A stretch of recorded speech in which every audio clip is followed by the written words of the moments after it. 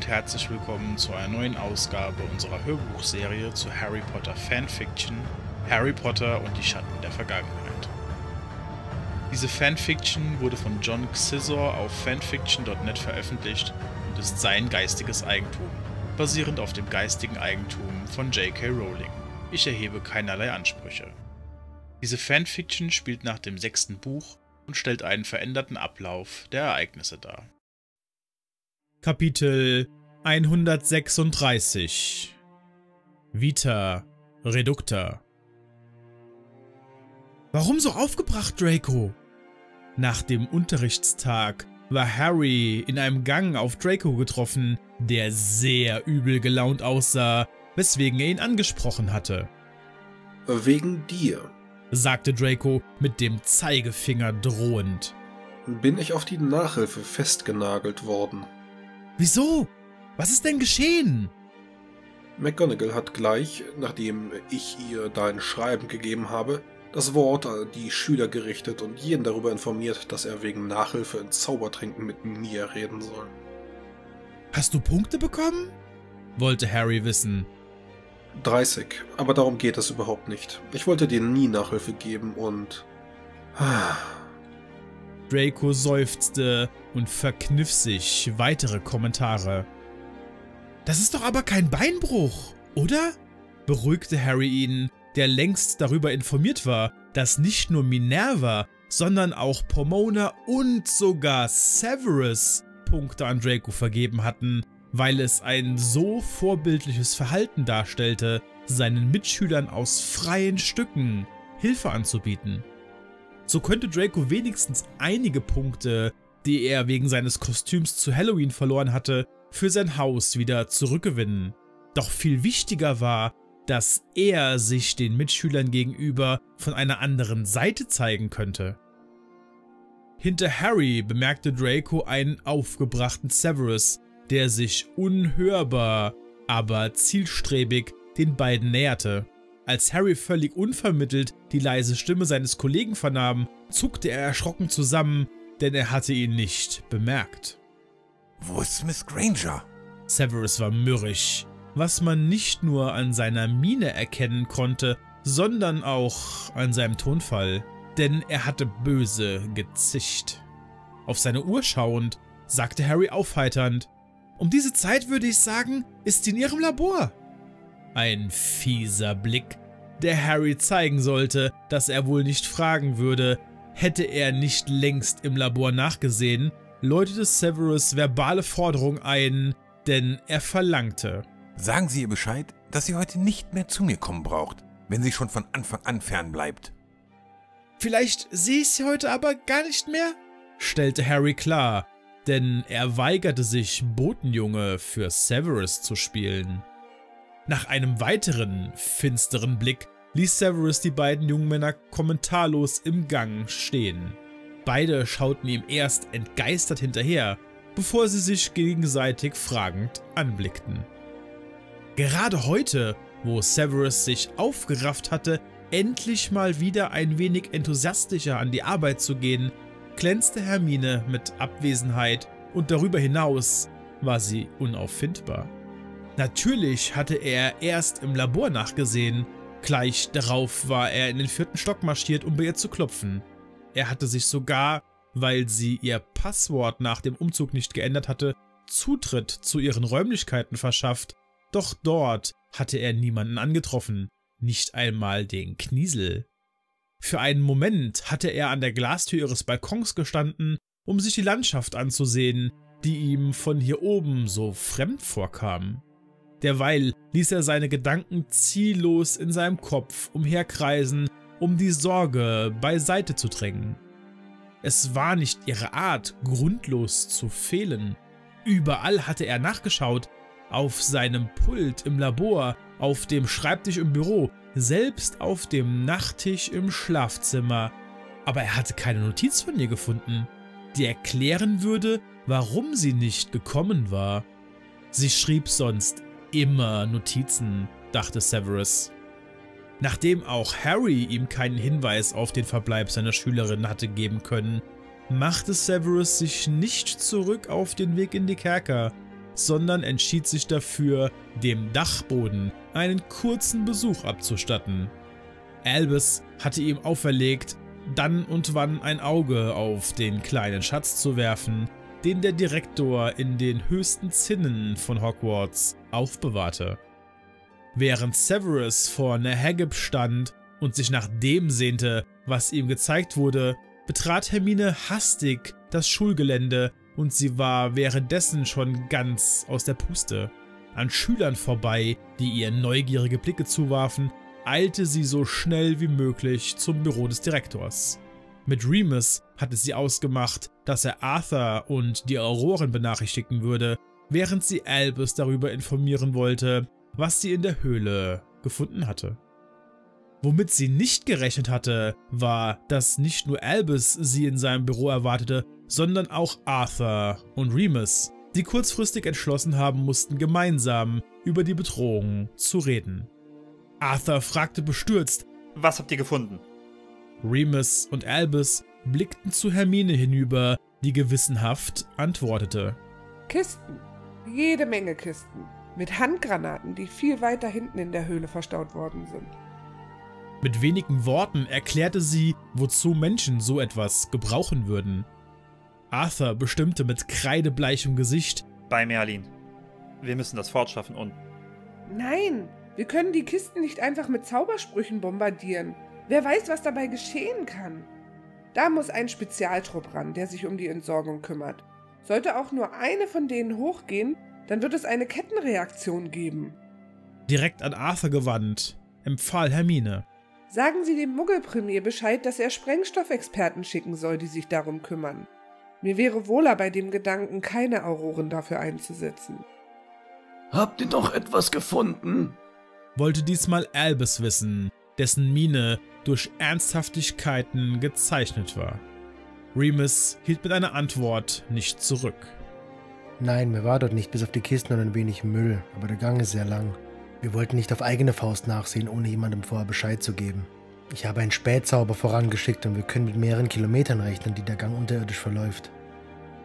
Arthur fragte, sollen wir Hogwarts schließen? Denn er war von den Neuigkeiten so ergriffen, dass sogar seine Stimme zitterte. Albus schüttelte den Kopf und erklärte. Es werden nur vier Kinder und einige Lehrer die Weihnachtsferien über hier bleiben. Die restlichen Schüler reisen morgen zu ihren Familien. Er hob den Blick und fixierte Arthur, bevor er forderte. Der Bahnhof muss gesichert werden. Am besten schon heute, bis wir in der Frühe mit den Kutschen kommen. Ich werde die Schüler persönlich nach Hogsmeade begleiten. Arthur versicherte aufgebracht, Ich werde heute noch einen Rohantrupp herschicken. Sollen wir die Schüler und Lehrer warnen? Man hatte beinahe vergessen, dass sich auch Hermine im Büro befand. Einen langen Moment ging Albus in sich, bis er die Gegenfrage stellte. Ließen sich Personen nicht viel besser beschützen, wenn sie nicht wüssten, dass man ein Auge auf sie geworfen hat? Es war eindeutig, dass Albus davon abriet und Hermine musste innerlich zustimmen. Menschen, die vor einer eindeutig drohenden Gefahr wussten, besonders wenn es sich bei ihnen um Kinder handelte, könnten in Panik geraten oder durch Übervorsicht Schaden erleiden. Albus entschied, den Schülern nichts von allem zu berichten, versicherte jedoch. Dem Lehrpersonal werde ich Bescheid geben. Keine Sorge wegen morgen. Ich werde 50 Aroren bereitstellen. Erleichtert atmete Hermine aus. Die Lehrer hatte man noch am gleichen Tag darüber informiert, dass die Gefahr bestünde, mit einem Angriff von verblendeten Muggeln konfrontiert zu werden. Severus war der Erste gewesen, der sich freiwillig dazu bereit erklärt hatte, die Schüler nach Hogsmeade zu begleiten. Für Hermine, die die Versammlung ebenfalls besucht hatte, schien es so, als würde diese Situation ihn aus seiner Lethargie reißen, weswegen sie sein Hilfsangebot innerlich gut hieß. Was sie gar nicht gut hieß, war seine bevormundende Art, denn er wollte ihr, nachdem beide die Lehrerversammlung verlassen und sich ins Labor begeben hatten, verbieten, die Schüler am morgigen Tag ebenfalls zum Bahnhof zu begleiten. Das gehört gar nicht zu ihren Aufgaben. Severus machte deutlich, dass sie sich als private Schülerin nicht um die Schüler Hogwarts zu scheren hatte. Und wenn ich in meiner Freizeit zum Bahnhof gehen will oder Remus in den drei Besen besuchen möchte, wollen Sie mir das dann auch verbieten? Sie haben Aufgaben, die Sie erledigen müssen. Laut Vertrag sind Sie dazu verpflichtet, Ihre Freizeit zum Lernen zur Verfügung zu stellen. Macht er ihr besserwisserisch klar. Ich kenne den Vertrag. Da steht nicht drin, dass ich mich Tag und Nacht für die Lehre opfern muss. Und schon gar nicht wird erwähnt, dass Sie uneingeschränkt darüber verfügen können, wie ich meine Freizeit zu gestalten habe. Sie hatte sich in Rage geredet, was ihn noch wütender machte. Sie bleiben hier. Das ist mein letztes Wort und jetzt halten Sie Ihren vorlauten Mund. befahl er angriffslustig. Das hätten Sie wohl gern. Aber in solchen Angelegenheiten haben Sie weder das letzte Wort noch können Sie mir den Mund verbieten. Severus kniff seine Augen zu engen Schlitzen zusammen und sagte mit aggressiv säuselnder Stimme, sehr bedrohlich klingend. Sie werden nicht gehen. Ich fasse es nicht. sagte sie ungläubig. Was verstehen Sie nicht daran, dass das nicht Ihre Angelegenheit ist? Er ging zu einem Schrank hinüber und entfernte einige Schutzzauber, bevor er ein dickes Buch entnahm und es ihr in die Hand drückte. Ich erwarte, dass Sie bis morgen Nachmittag mindestens die Hälfte gelesen haben. Hermine schüttelte perplex den Kopf, bevor sie seinen Plan durchschaute und ihn mit eigenen Worten wiedergab. Jetzt wollen Sie mir irgendeine Aufgabe aufdrücken, um mich davon abzuhalten? Während er Zaubertrankzutaten betrachtete, warf er völlig gelassen mit öliger Stimme ein. Wenn Sie diese Aufgabe nicht bewältigt haben, werde ich den Ausbildungsvertrag mangels Kooperation Ihrerseits beenden. Vor Wut fast platzend wies sie ihn zurecht. Damit werden Sie nicht durchkommen. Was ist das nur für eine Art, Severus? Ich dachte, wir würden gut miteinander auskommen, aber nein, Sie machen es einem unmöglich, Sie sympathisch finden zu wollen. Überraschend, nicht wahr? Er grinste schmierig. Gereizt sagte sie in den Raum hinein. Ich frage mich wirklich, warum ich die Stelle bei Ihnen überhaupt angenommen habe. Aufgeregt lief sie auf und ab, bevor sie sich ihm zuwandte. Sie sind genauso unausstehlich wie früher.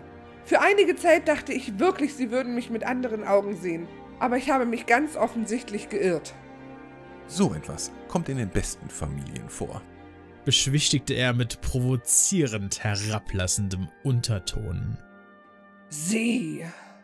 Dieser Moment eröffnete sich als jener, in welchem sie überreagierte, und es machte ihr nicht einmal etwas aus. Sie halten meine Abstammung da schön raus, Severus. Oder was? Sie sind genauso wenig reinblütig wie ich. Immerhin war Ihr Vater ein Muggel. Wie haben Sie es mit Ihrer Abstammung eigentlich geschafft, sich in den Reihen der so geachteten Reinblüterfamilien zu etablieren? Sie hatte absichtlich auf seine Zeit als Todesser angespielt. Gelangweilt zog er eine Augenbraue in die Höhe, bevor er erwiderte. Mit Charme? Verachtend schnaufte Hermine, während sich ihre Hände zu Fäusten ballten. Sicher. Sie haben ja bewiesen, dass Sie mit Ihrer charmanten Art jederzeit und überall Freundschaften schließen können. Giftete sie ihn an. Wir kommen vom Thema ab. Er klang äußerst gelassen, geradezu gleichmütig, Ich werde morgen mitgehen. murmelte Hermine, bevor sie sich einige Fiolen an den Tisch holte. Genervt seufzte Severus, bevor er ehrlich interessiert fragte. Warum wollen Sie morgen mitkommen? Sie könnten im schlimmsten Fall Ihr Leben verlieren. Sollten tatsächlich Muggel angreifen. Warum wollen Sie dann unbedingt morgen mitgehen? stellte sie als Gegenfrage, und ganz plötzlich überkam sie ein ungutes Gefühl, was man in ihrem Gesichtsausdruck ablesen konnte, denn der war erst fragend, dann entsetzt, Es würde Ihnen nichts ausmachen, sagte sie flüsternd. wenn Sie Ihr Leben einbüßen müssten? Severus konnte nicht antworten, weil er viel zu irritiert darüber war, wie sie seine Aussage gedeutet hatte. Sein Schweigen war für sie allerdings Grund genug, ihre Vermutung bestätigt zu glauben. Ruhig und leise richtete sie das Wort an ihn. Das ist keine Lösung, Severus. Mit bedrohlichem Zischen machte er sich über sie lustig, indem er sagte, Betätigen Sie sich in Ihrem Halbwissen jetzt auch noch als Hobbypsychologin? Sie kennen mich überhaupt nicht, also hören Sie auf, mich analysieren zu wollen. Oh, ich glaube, ich kenne sie ganz gut. verteidigte sich Hermine selbstsicher. Sie wissen gar nichts über mich. Dann erzählen Sie mir doch einfach mal was. Herrgott, ich habe Ihnen so einiges von mir erzählt, habe aber selten etwas aus Ihrem Leben erfahren. Es klang wie eine Beschwerde. Er schwieg, so dass sie sich dazu entschloss, ein paar Dinge zu nennen, die sie von ihm wusste. Sie hoffte, das könnte ihn dazu animieren, ein paar Anekdoten aus seinem Leben preiszugeben. Mir und jedem anderen ist bekannt, dass Sie sich aus Leidenschaft Zaubertränken verschrieben haben.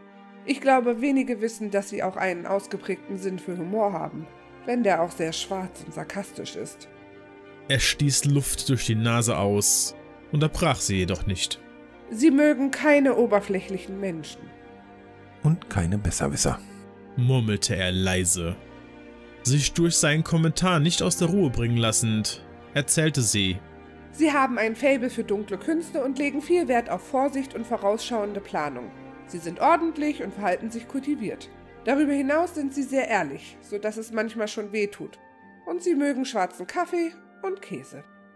Nach ihrer letzten Bemerkung zog er erstaunt eine Augenbraue in die Höhe, und es schien fast, als würde er sich ein Schmunzeln verkneifen.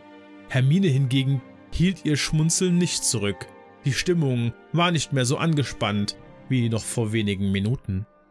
Die Forschung ist auch eines ihrer Steckenpferde, auch wenn manche Experimente nicht ganz legal sein mögen.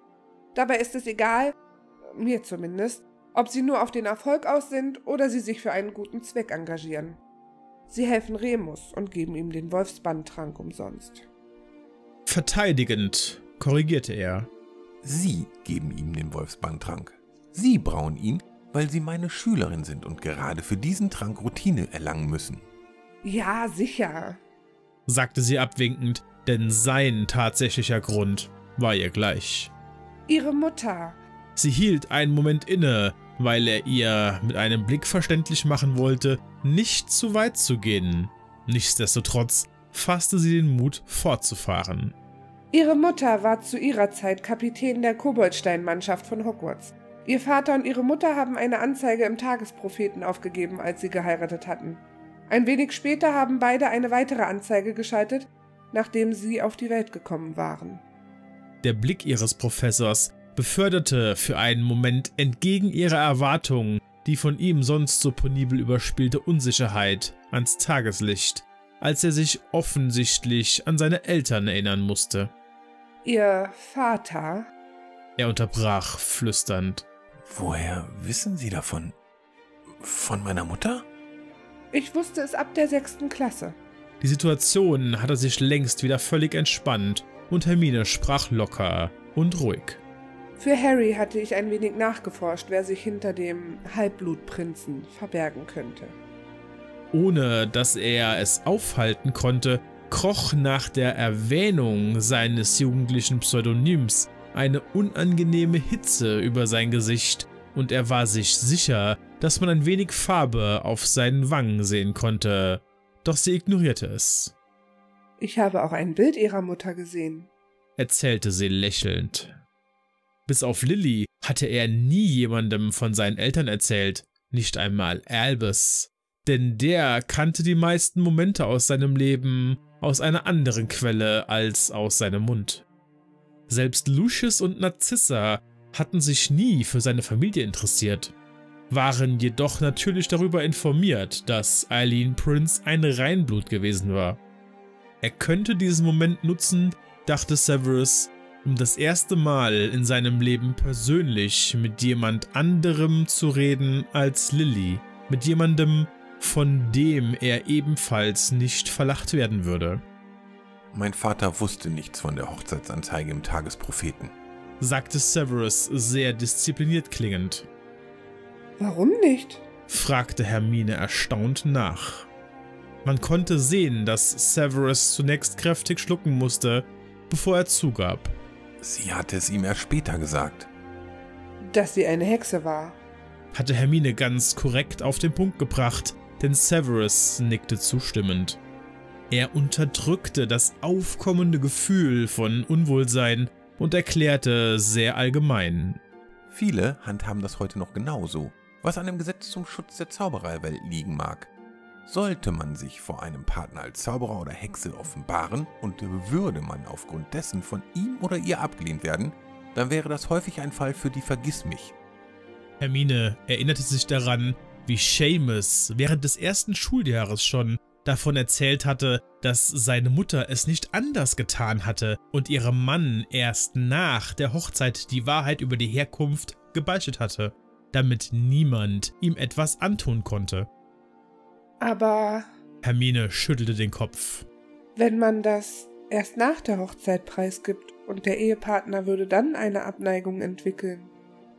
Es übermannte sie, das schlimme Gefühl, dass es bei Severus Eltern so gewesen sein könnte, Eine 50 zu 50 Chance für das Gelingen oder Scheitern der Ehe. sagte Severus kühl.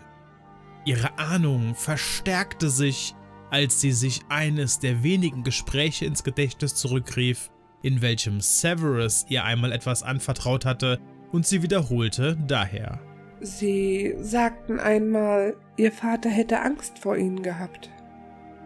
Ich ahne, dass Sie unser Gespräch erneut in Bahn lenken möchten, damit Sie weiterhin an meinem psychologischen Profil arbeiten können. Was? Nein! Wir unterhalten uns doch nur. Von einer Sekunde zur anderen war die Stimmung wieder umgeschlagen, denn er unterbrach sie barsch. Sie stöbern und bohren und können es einfach nicht lassen, nicht wahr? Tief ein- und ausatmend ging Hermine in sich und entschloss sich dafür, ihn in Ruhe zu lassen, was sie ihm auch vor Augen halten wollte, indem sie sehr enttäuscht klingend monierte. Wenn Sie das so sehen, dann beenden wir das Gespräch lieber. Ich finde es nur schade, dass Sie hinter jeder Nettigkeit irgendeinen Angriff auf Ihre Privatsphäre vermuten. Das ist nicht meine Absicht. Und dass Sie so von mir denken, verstehe ich wirklich nicht. Nach einer ganzen Weile des Schweigens murmelte Severus. Die Arbeit wartet. Hermine kramte in der großen Tasche herum und zog eine mittlerweile beachtlich dicke Mappe heraus, während sie sagte. Sie haben lange nicht mehr mein Projekt verfolgt. Sie hielt ihre Unterlagen in der Hand und näherte sich ihm. Ich hatte noch einige Experimente durchgeführt. Mit meinen Eltern, mit Anne und mit zwei Scripts. Ah, haben Sie doch welche ausfindig machen können? Neville kannte die beiden. Es war ein netter Abend. sagte sie, während sie ihm die Ergebnisse reichte. Er hatte viel zu lesen und begann daher sofort. Nach einer bestimmten Stelle verzog er fragend das Gesicht, so dass sie wissen wollte, Was haben Sie? Ein Kuss? sagte er völlig ungläubig und fast schon angewidert, als er das Resultat ihrer Eltern las. Lesen Sie einfach weiter. riet sie ihm gelassen. Sie nutzte die Zeit, um ihn zu beobachten. Aus seiner Mimik las sie einiges ab, auch wenn er seine Gefühlsregungen meist zu verbergen wusste. Eine Stelle schien ihn zu erstaunen, eine andere schien Fragen bei ihm aufkommen zu lassen. Als er fertig war, sammelte er sich einen Moment, bevor er mit seinen eigenen Worten zusammenfasste. Muggel verfügen über einen spärlichen Anteil an Magie, der nicht nur äußerst träge ist, sondern keinesfalls zum Zaubern ausreicht. Nur in Sonderfällen kann die Magie, wie bei ihren Eltern, an Intensität leicht zunehmen, aber selbst dann ist sie noch sehr bescheiden. Hermine nickte, sodass er erneut das Wort ergriff.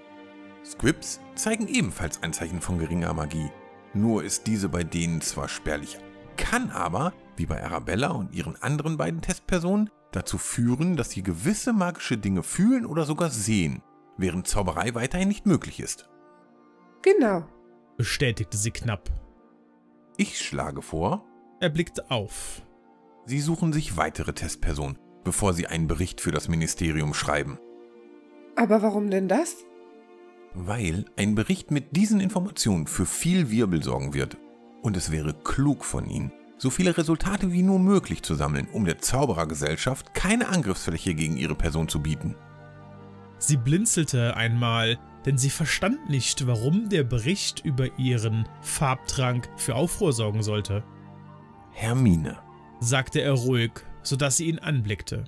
Wenn Sie mit einem Bericht an die Öffentlichkeit gehen, der eine magische Gemeinsamkeit von Muggeln, Squibs und Zauberern unterstreicht, dann wird es Proteste geben. Dass Sie Muggeln schon allein das Vorhandensein von Magie zuschreiben, wenn diese auch noch so gering und nicht zu gebrauchen ist, dann ist das revolutionär. Aber es ist doch nun mal so.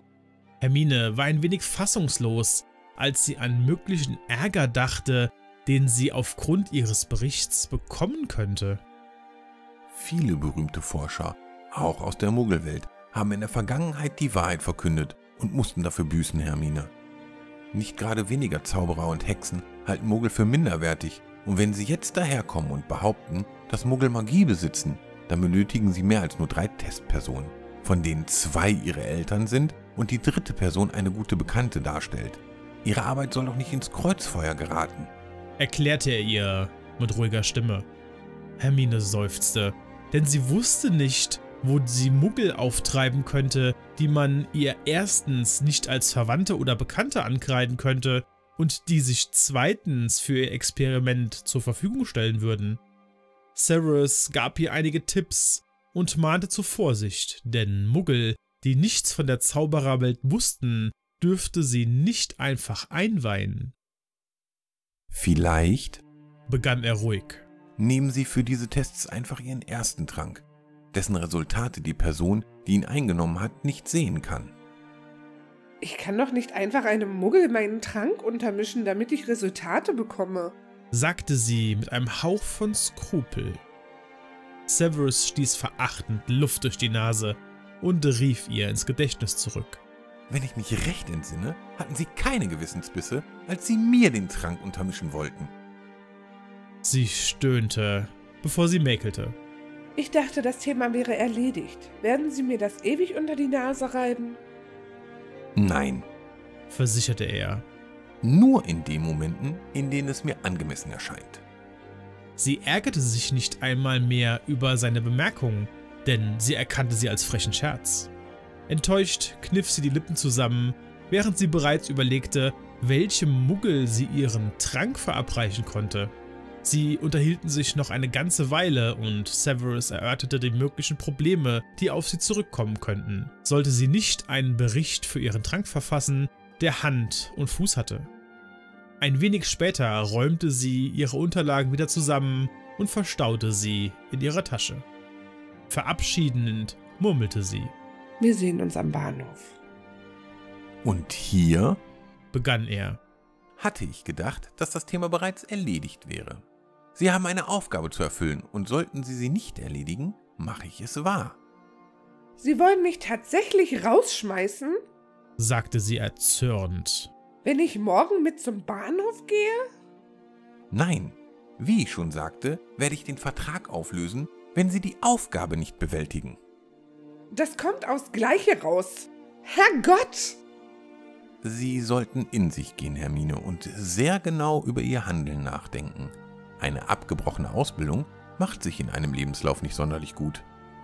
Ihr platzte der Kragen. Oh, ich denke sehr wohl, dass man meine Lage gut verstehen würde, wenn ich nur sage, bei wem ich diese Ausbildung nicht zu Ende bringen konnte. Böse zichelnd fragte er. Was wollen Sie damit sagen? Ich bin mir sicher, sagte Hermine aufgeregt. dass so einige Menschen von ihrem Charme wissen und mich nicht dafür verurteilen würden, sollte ich. Ein Räuspern unterbrach sie und beide schauten zur geöffneten Tür, in welcher Albus stand. Hinter ihm wartete Remus, der verlegen den Gang hinunterschaute und so tat, als hätte er kein Wort vernommen. Dürfen wir eintreten? Fragte der Direktor sehr höflich. Es tut mir leid, dass ich die Tür einfach geöffnet habe, aber unser mehrmaliges Klopfen wurde wohl überhört. versicherte Albus. Hermine blickte zu Severus hinüber, denn es war seine Aufgabe, die beiden eintreten zu lassen und willkommen zu heißen. Sie bemerkte, wie ihr Professor sich von innen auf die Unterlippe zu beißen schien. Einen Augenblick später sagte Severus, dass sie sicher eintreten können. Mit selbstsicherem Schritt betrat der große Zauberer das Labor. Ihm folgte Remus, der die Augenbrauen leicht angehoben hatte und dem ein mildes Lächeln auf den Lippen lag. Er blickte auf und begrüßte Severus und Hermine mit dem Vornamen und einem kurzen Kopfnicken. Ich hoffe, begann Albus, wobei seine Augen einmal fröhlich funkelten. Dass wir bei dieser doch recht lebhaft wirkenden Unterhaltung nicht stören. Wir. Ihre Stimme ließ Hermine im Stich, doch Severus nahm sie ab zu antworten. Wir haben nur diskutiert. Wollte er den Gästen weismachen, und es schien ihn zu erstaunen, dass Hermine ihm auch noch nickend zustimmte. Ja, das konnte man bis draußen hören. Pflichtete Albus murmelnd bei. Wenn Albus keinen Bart hätte, würde man ihn sicherlich schmunzeln sehen. Ich bin hier, weil wir uns eben mit Kingsley unterhalten hatten. Albus nickte zu Remus hinüber. Du, Severus, hattest dich für morgen freundlicherweise bereit erklärt, die Schüler zu begleiten. Kingsley lässt dir seinen Dank für deine angebotene Hilfe ausrichten, aber er wünscht niemanden vom Lehrpersonal am Bahnhof, nicht einmal Hagrid. Er möchte keine Zivilisten in Hogsmeade.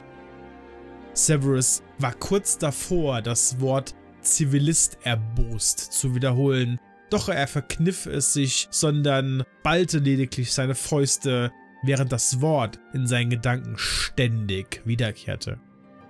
Hogsmeade wird gerade geräumt. Erklärte Albus mit ruhiger Stimme. geräumt? fragte Hermine nach. Nickend erläuterte Albus. Evakuiert, um genau zu sein. Die meisten Bürger kommen in der Winkelgasse unter und sie können wieder zurückkehren, wenn der Hogwarts Express den Bahnhof verlassen hat. Was ist mit dir, Remus? Wollte Hermine wissen, Ich bleibe die Zeit über hier. sagte er freudestrahlend. Severus Augen weiteten sich, bevor er entrüstet wiederholte. Hier? Naja, nicht in einem Labor, Scherzte Remus. aber in der Schule. Sich verabschiedend, sagte Albus. Dann ist ja alles geklärt. Tut mir außerordentlich leid, falls ich euch das Thema für eine leidenschaftliche Diskussion genommen haben sollte. Er nickte beiden zu und verließ das Büro, während Remus noch weiterhin im Labor blieb und sein mildes Lächeln mittlerweile zu einem frechen Grinsen geworden war. Was tun Sie noch hier? Möchten Sie doch im Labor übernachten? Giftete Severus gereizt. Oh nein, ich wollte fragen, ob ihr für heute fertig seid, damit ich Hermine begleiten kann. Remus schaute zu Hermine hinüber und verpasste daher den Augenblick von entgleisenden Gesichtszügen, bevor Severus sich wieder gefangen hatte, Wie soll ich das verstehen? fragte Severus skeptisch. Albus hat mir eines der Zimmer neben Hermines Räumen gegeben. Antwortete Remus erfreut. An Hermine gerichtet, schlug er vor. Ich dachte, wir könnten vielleicht noch eine Partie Schach spielen. Sie schaute auf die Uhr und bemerkte, dass es schon sehr spät war. Miss Granger Er nannte sie in Anwesenheit anderer meist beim Nachnamen. hat eine Aufgabe zu erledigen. Ihre Augen formten sich zu schmalen Schlitzen, bevor sie leise zischelte. Ich dachte, das hätte sich jetzt erledigt. Er grinste fies zu ihr hinüber und verdeutlichte. Die Hälfte des Buches bis morgen Mittag. Zu Remus blickend, sagte sie aufmüpfig. Remus, wir spielen Schach, solange du möchtest. Dann bleibe ich eben die ganze Nacht auf, um das Buch zu lesen. Sie griff nach dem dicken Wälzer, schwang sich ihre Tasche über und ging bereits zur Tür, die ihr Remus aufhielt, bevor sie sich noch einmal umschaute und mit stichelndem Unterton zu Severus sagte.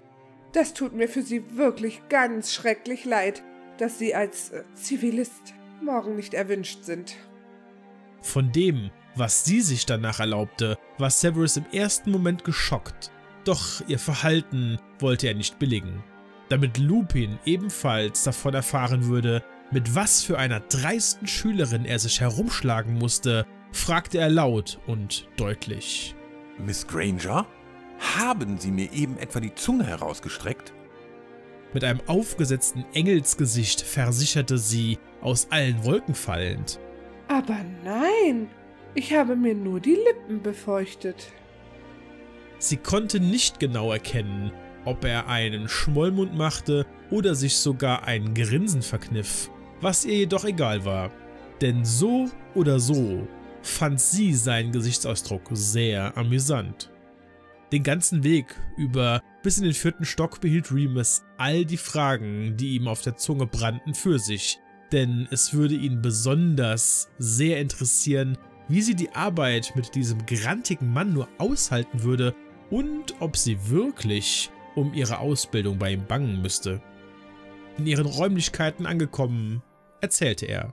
Ich habe Neuigkeiten von Tonks wegen deiner beiden ehemaligen Mitschüler. Erzähl. Sie deutete auf die Couch, damit er sich sitzen würde. Du weißt ja, dass die beiden erst zwei Wochen vor Voldemorts Sturz für tot erklärt worden sind. Ja, bestätigte Hermine. weil man nur die Zauberstäbe gefunden hatte und man die Leichen nicht hundertprozentig identifizieren konnte. Man hat es sich sehr einfach gemacht. Die Stäbe konnte man ja eindeutig zuordnen. Die beiden hatten die Schule mit euch ja noch zu Ende gebracht. Pansy war wie vom Erdboden verschluckt. Erinnerte sich Hermine.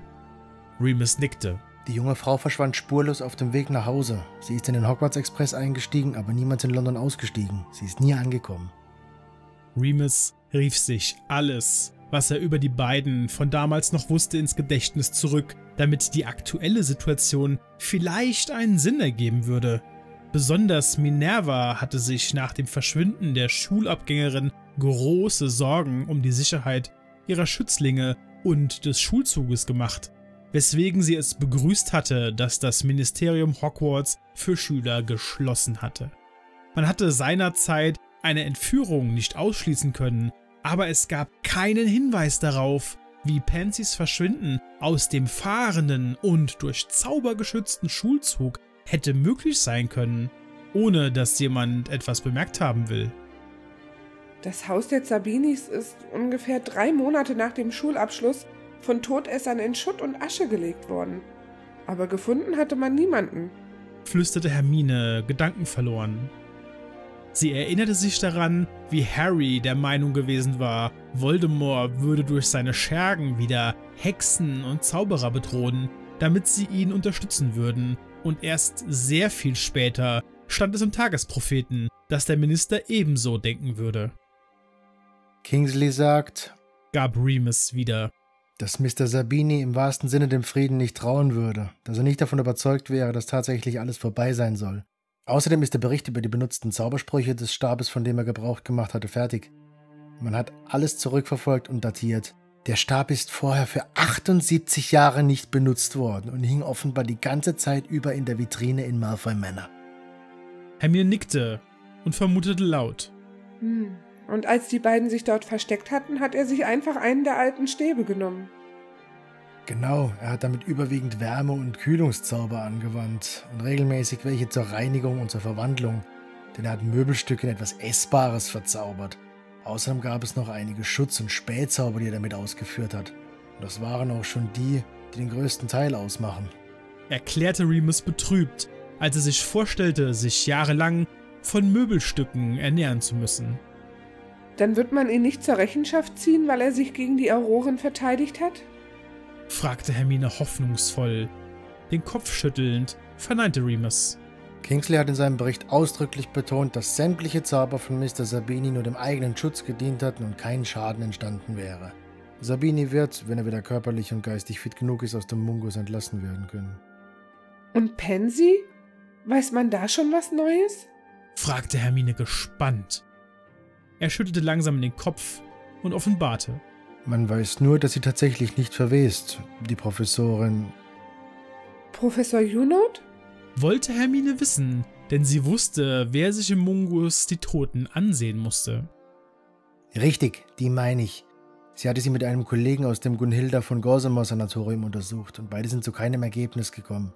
Kingsley schließt einen Fluch oder Trank nicht aus. Er bezweifelt aber, dass er einen schwarzmagischen Gegenstand berührt haben könnte, weil Pansy sich laut Dracos Einwurf sehr wohl darüber bewusst war, was für gefährliche Gegenstände im Haus lagern würden. Er hatte Kingsley erzählt, er hätte damals vor ihr damit angegeben und ihr sogar einige Stücke aus der schwarzen Sammlung seines Vaters gezeigt. Hermine und Remus waren nicht die einzigen, die sich gerade über Miss Parkinsons Fall unterhielten.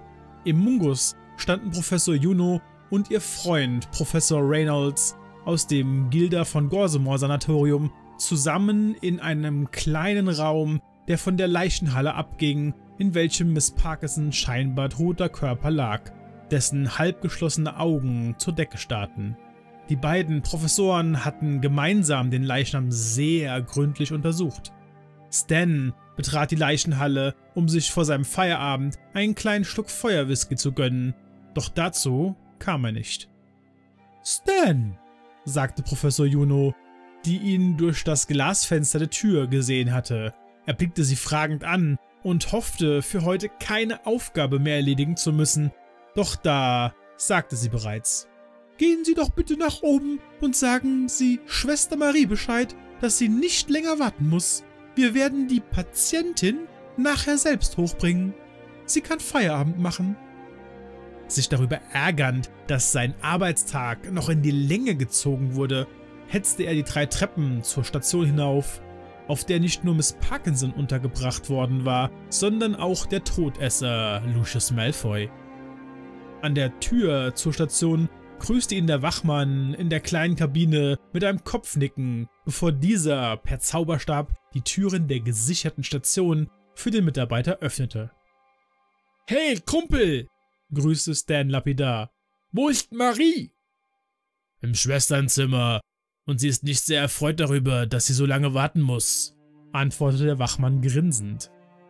Na da wird sie sich aber gleich freuen, ohne Umwege marschierte Stan auf das Schwesternzimmer zu, in welchem Marie mit überschlagenem Bein, verschränkten Armen und säuerlicher Miene auf einem Stuhl sitzend wartete, bis man ihre Patientin bringen würde, denn niemand anders würde sich um Miss Parkinson kümmern. Hallo, grüßte Stan laut, womit er Marie so sehr erschreckte, dass diese beinahe vom Stuhl gefallen war. Stan! Oh, tun Sie das nie wieder! Er lachte, bevor er übermittelte.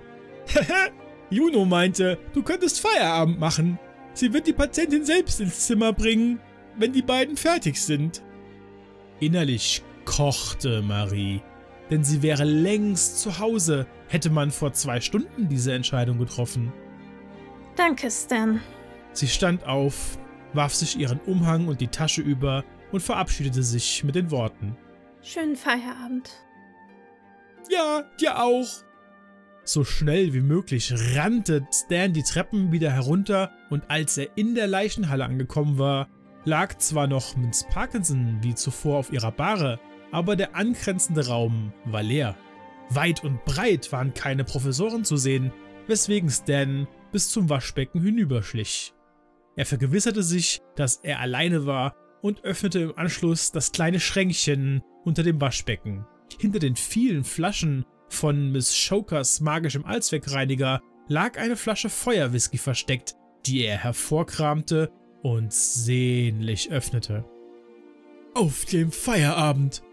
prostete er sich selbst zu, bevor er die Flasche ansetzte und den ersten großen Schluck nahm. Während des zweiten Schluckes, der bereits angenehm in der Kehle brannte, hoffte er darauf, dass die beiden Professoren noch immer schwer beschäftigt wären und ihn nicht stören würden. Professor Juno hatte ihn schon mehrmals auf sein Alkoholproblem angesprochen und ihm sogar Hilfe angeboten. Während Paddle nur damit gedroht hatte, man würde ihn sofort entlassen, sollte man ihn auch nur ein einziges Mal mit Alkohol erwischen. Wenn er seinen Job nicht wieder verlieren wollte, musste er vorsichtig sein und ein Auge auf die Tür werfen, schalt er sich selbst. Um sich zu überzeugen, seinem Laster weiterhin unentdeckt frönen zu können, schaute er über die Schulter zum Eingang hinüber. Das Blut gefror ihm in den Adern, als völlig unerwartet der Kopf von Miss Parkinson unbeweglichem Körper ihm zugewandt war und sie ihn durch nebelige Augen anzustarren schien. Vor lauter Schreck ließ er die Flasche fallen die auf dem gefliesten Boden mit ohrenbetäubendem Lärm in tausend Stücke zerbarst.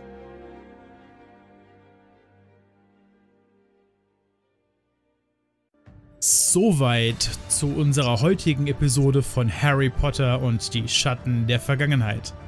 Wenn euch die Folge gefallen hat, lasst doch gerne einen Daumen nach oben da und natürlich auch ein Abo, damit du keine Folge mehr verpasst.